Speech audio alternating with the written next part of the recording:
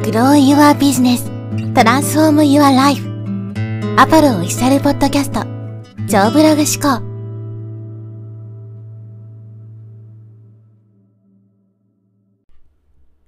はい、えーこんにちは、ポロです。今日はですね、ハローフレッシュ作ってみたというテーマでお話していきます。ハローフレッシュってご存知でしょうか？あの、日本でね、あるかわかんないですけど、宅配で食材を届けてくれて、で、それをですね、まあ、レシピが入ってて、そのレシピ通りに作ったらね、ご飯が作れるっていうやつで、カナダにはですね、このハローフレッシュとか、まあ、類似のですね、同じようなサービスが何社かあるんですけど、まあ、うちもですね、過去に何社か使ったことがあって、また最近ですね、このハローフレッシュを始めたわけですね。で、今回このエピソードのタイトルを聞いたら、なんで僕のね、プライベートな話かっていうふうに思うかもしれないですけど、ちゃんと学びとか気づきとかがあったんでね、それをシェアしていきたいと思うんで、僕のただプライベートな話をね、淡々と喋るみたいな、そういうつまんないエピソードではないんで、まあ、ぜひね、最後まで聞いてもらえればと思います。で、な、そもそもね、なんでこのハローフレッシュを、まあ、オーダーしようと思ったかというとですね、まあ、うちはちょっとね、妻の調子があんまり良くない時があって、こう精神的、メンタル的なものがあってですね、ちょっと一日中こう寝込んでないといけないとかっていうね、ことがしばしばあるんですね。薬を飲んでいれば症状は改善するんですけど、それでもやっぱりね、動けなくなってしまう時がある。そうするとやっぱり家事とか子供の世話とかっていうのをね、僕はしないといけないわけですね。だから仕事も子供を見ながら仕事しないといけないんで、収録ができなかったりとか、まあ、そもそも完全にね、作業自体できないみたいなこともよくあるんですけど、当然、ご飯も作れないんで、僕が作んないといけないわけですよ。でも、僕はですね、この料理っていうのがめちゃくちゃ苦手で、超下手くそなんですね。だから作れる料理っていうのは本当に限りがあって、まあラーメンとかね、それぐらいだったらもちろん作れますけど、本当にこう料理と言えるもの、もうチャーハンとかね、そういうただ炒めるだけみたいなものであれば作れますけど、まあほとんどできないわけですね。で、やっぱりそんなものばっかり子供にあげていたらあんまり良くないんで、やっぱりちゃんとしたものをってことで、まあ、ハローフレッシュね、そういうレシピがついていて、食材がちゃんとね、準備されてるんで、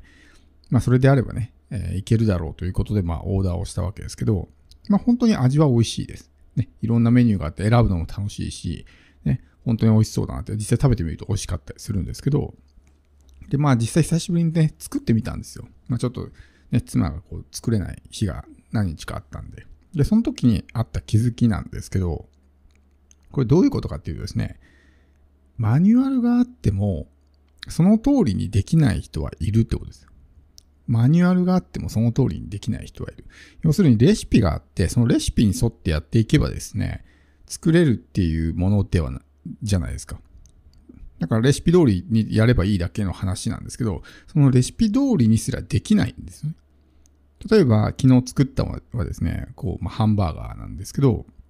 ハンバーガーで、その、まあ、一緒にこう、じゃがいもが入ってるんですね。で、じゃがいもが入ってて、じゃがいもをね、ウェッジに切るって書いてあるんですよ。ウェッジっていうのはこう、なんですかね、三日月をさらに半分に切ったみたいな形の、なんですけど、ウェッジをまずどうやって切ればいいのかがわかんないわけですよ。で、上手に切れないですね。で、玉ねぎも、まあ、この、バーガーの中に入れる玉ねぎなんで、ちょっとこう、なんていうんですかね、スライスみたいな感じにしないといけないんですけど、切り方がわからないからちょっとね、細かく刻んでしまったりとか、したりとか、あとは、オーブンの使い方がそもそもよくわからないみたいな。どうやってオーブンって使うのみたいな。もう全然わからないわけですね。だから本当にできない人からしたら、その説明を聞いてもその通りにできないっていうことがあるんだなっていうのはすごく分かったんですね。だから例えばビジネスとかでもそうですけど、ね、テンプレートとか、まあ、ステップバイステップでね、この通りにやるだけでいいですってなったとしてもですね、そもそもその通りにできない人もいるんだなっていうのが分かったんですよ。だから本当に苦手な人からすると、さっきのオーブンの使い方って話をするとですね、例えば何かのツールの使い方がそもそもそのツールがうまく使えないみたいなね、人も当然いるわけだから、そしたらそのマニュアルがあったとしてもですね、その通りにできないわけですね。で、例えばこういう時はこういう風にやりましょうって言われても、それがうまくできない。なぜならスキルが足りないからですね。で僕もその包丁で何かを刻むとかっていうことをするときに、その通りにできないんですよ。書いてあってね。どういう形に切ればいいのかって分かっていても、うまくできないんですよね。スキルがないから。だからそういうふうに、まあ、マニュアル的なものをですね、例えば初心者の人とか未経験者の人とかに与えて、そのままそっくりね、言われた通りにできるかっていうと、できないんだなっていうのがすごく分かったんですね。なので、やっぱりね、そういうマニュアルがあれば、その通りにね、全員が全員同じようにできるかっていうと必ずしもそういうわけじゃないっていうのが、まあこのハローフレッシュのね、えー、体験を通して得られた学びというかね、気づきなんですけど、あとやっぱり本当に、なんていうんですかね、得意な人、当たり前にできる人と苦手な人の、ここの差というかね、得意な人はそれはもうできて当たり前だから、さらっとしか書いてないわけですよ。でも苦手な人からしたらそもそも何それみたいな感じになるわけですね。だそこの、まあ、乖離というかね、ギャップが大きいわけですよこ。僕はすごく苦手だし、知識もないしね。それってどうやってやるのみたいな。さっきのオーブンもそうじゃないですか。オーブンってそもそもどうやって使うのこれみたいな。どこ押せばいいかわかんないし、みたいなね。なんか火事になったら嫌だなとか。で、なんとかって、例えば、ね、この器具の名前が書いてあっても、これ、これ、何これみたいな感じになったりするわけですよね。だから本当に、そういう状態の人もね、たくさんいる中で、そのマニュアルがね、じゃあ全ての人にとっていいのかっていうと、必ずしもね、その通りにできるわけではない。本当にやっぱり、一応できましたけど、やっぱり見見た目もひどいし、まあ、僕が昨日食べたやつはね、バーガーとその、まあ、ポテトですね、ウェッジの本当に失敗しまくり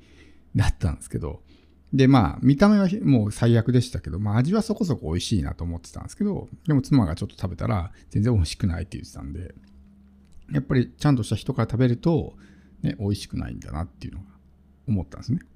で、あともう一個分かったのは、マニュアルがあれば、本当に苦手で下手くそな人でも一応ね、それなりのものはできるってことです。さっきも言ったみたいに、ね、僕ももうほん超、超料理下手くそ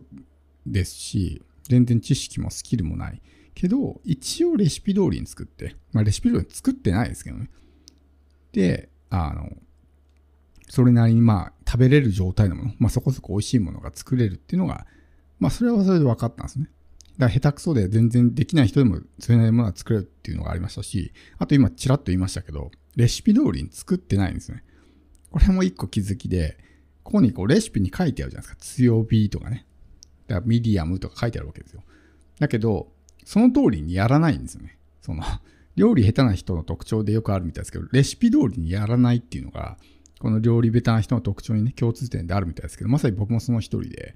レシピに書いてある通りにやらないんですよね。勝手に自分でなんか、中火って書いてあるの強火にしちゃったりとか、だからなんか全然おかしくなってしまったりとかね。